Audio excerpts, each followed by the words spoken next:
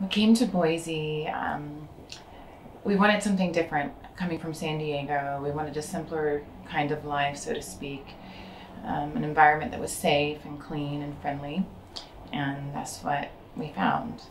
In San Diego, my, my clientele was very diverse, and I wanted to reach out here to all communities, including my community, the, the African American community, and let them know I'm here. I take care of hair. I do, I'm really good at it.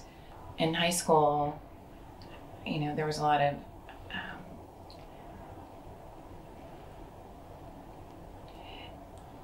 discrimination against me because of my fair skin. I got beat up a lot.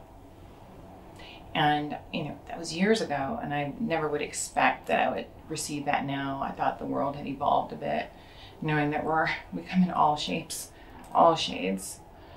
So I didn't think that would be an issue, but apparently it was.